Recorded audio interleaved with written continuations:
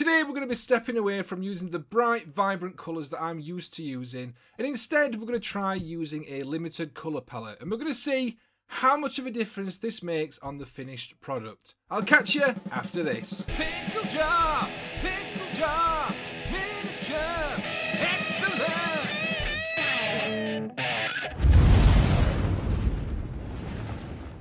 Hello and welcome to the Pickle Jar. My name's Josh, and in today's video, we're going to be talking about painting style, colour choice, attempting new techniques, and why using a limited colour palette might just push your painting that little bit further. So just to give some context, here's a little bit about me. I've been painting miniatures for around 20 years and I have over the years tried a ton of different techniques, painting styles and materials. It was only really about 7 or 8 years ago that I actually stopped trying to emulate my friends' painting styles and their techniques and embraced what I enjoy doing with my miniatures and my own painting style, which tends to be very, very bright and vibrant. Embracing what made my painting my own was the best thing to happen to me and has allowed me to get more and more creative, has helped me improve my painting in general, and now I'm at a point where I'm wanting to dabble in different styles as fun side projects rather than to try and emulate somebody else. While I was having a nostalgia trip over my past projects, I realised that in all my time in the miniatures hobby, I've only ever painted a handful of elves. These were actually some of my very first miniatures when I first got into painting in the hobby. These are the last Alliance elves that came with the Lord of the Rings Fortnightly magazine way back almost 20 years ago. I've painted plenty of models since then, but I'm fairly certain that these are still the only elves that I've ever painted, so I figured that I needed to do something about that. Today's model came in a care package from Atlantis Miniatures. It's from their Wood Elf Kickstarter from last year and hand on heart, these are some absolutely gorgeous models. I've got a few more that I'm going to be showcasing in future videos, but for today's project, I fancied using this lovely assassin. I started out working on this model with just the intention of painting it up to show it off for Atlantis, and I soon decided that I could actually try a few different things on this model that I've been either wanting to try for a while and been putting off, or that I have tried previously and wanted to have another go at.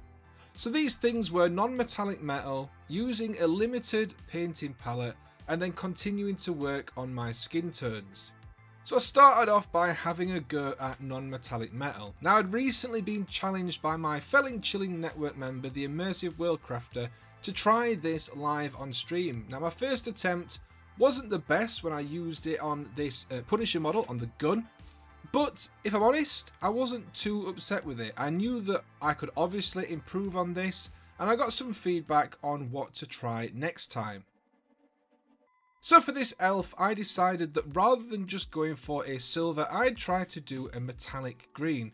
I figured that that would be more in keeping as I wanted to try and keep the colours to greens and browns, keeping in with the limited paint palette.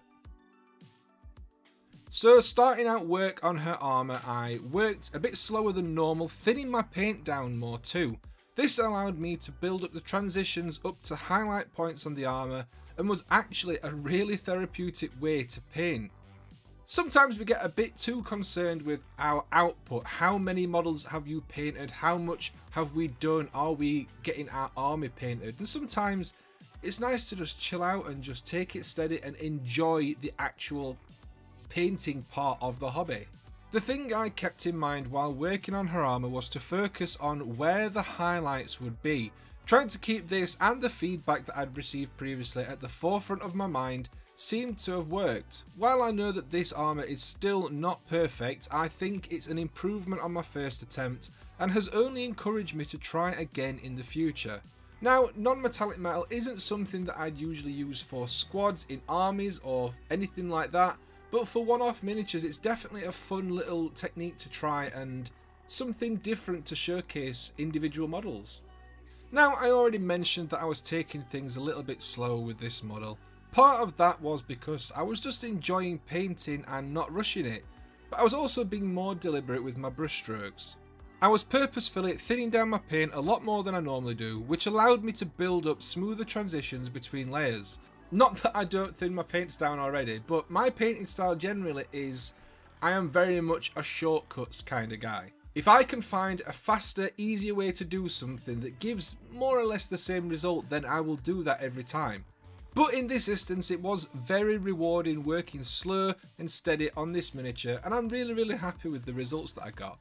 Another piece of advice that I have been hearing and that I decided to put into effect today was to use a bigger brush. Now I usually use my size 0 or size 1 but today I was using my size 2. Now it still has the super sharp tip allowing me to do all the details and the highlights and things like that but it has a much bigger belly on it so it's got a bigger reservoir for holding paint meaning that it, I can work for longer without having to refill the brush. Now, it might only seem like a small thing because obviously the paint is there on the palette. It's not like I've got to go into a, a separate room to refill my brush.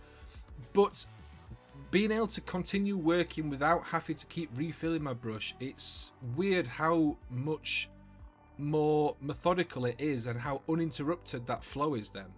This was a huge game changer for me and I've been using the size 2 on projects since this one. Now you saw me add the paint to the palette right back at the start.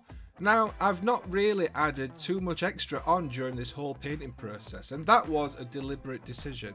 With this model, I didn't just want to paint it nice and job done. I wanted to have a go at a different style and try something new.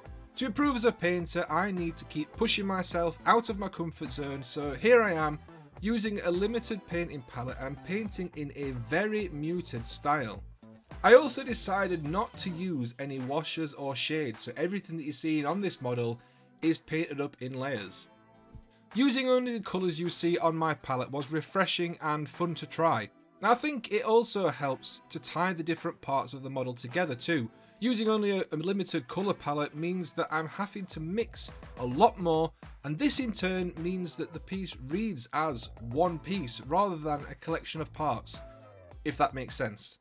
For example, if I'm darkening down or lightening up something, I will be adding in one of these colours. So if I want to lighten up the green, I'm adding in the grey that I'm using elsewhere. And same with the skin tone, so it all kind of blends together. So here she is. Now, I had a ton of fun working on her, not just because of the new things that I was trying out, but because of the model itself.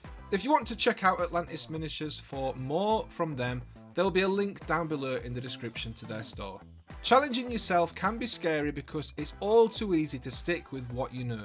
But if you want to improve, then you've got to take chances. You never know, you might find your new favourite thing. I hope you enjoyed the video and found it somewhat useful. If you did, be sure to leave us a like.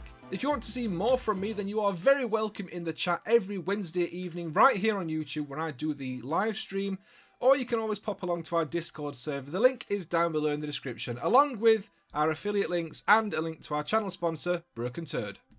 Finally, I want to say a massive thank you to all our channel members.